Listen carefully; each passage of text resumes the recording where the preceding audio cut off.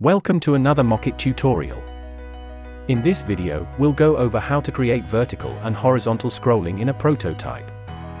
Vertical scrolling allows you to scroll the whole page vertically, while horizontal scrolling allows you to scroll through a row of elements, while maintaining the vertical position. Let's get started. We are starting with a redesigned Facebook app. You can visit our previous video to check out how we redesign it. First in first, I want to give this page a vertical scrolling. I'm moving the cursor to the bottom of the canvas and drag downward to make the page longer. Then adjust the background rectangle. And the bottom navigation bar should be moved to stay at the bottom of the page. Here for the blank space, I'm gonna fill it with the post content. So I'm moving the contents that have been prepared to this place and finally adjust the bottom navigation bar to better fit the whole page. Let's preview to see the result. Now I can scroll the page vertically, while the bottom navigation bar is fixed.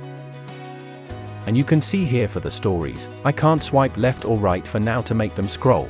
So next we're going to create a horizontal scrolling. Go back to editing area.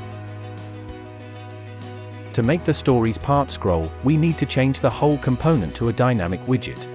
You can check out our previous video to learn what is dynamic widget in Mockitt, and how it works.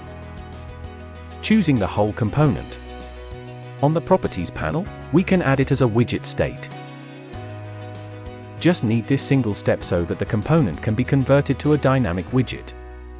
Now let's exit editing. Since the dynamic widget is created, we need to adjust the size to make it adapt to the page. So I'm dragging the right side of the component to adjust the width.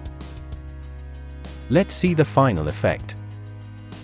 Now we can scroll the stories horizontally in the same vertical position. Also the vertical scrolling is working for the whole page at the same time. To review what we just learned today, Drag the canvas downward and make the page longer, so that we can vertically scroll the page. For horizontal scrolling, just simply add the component as a dynamic widget state.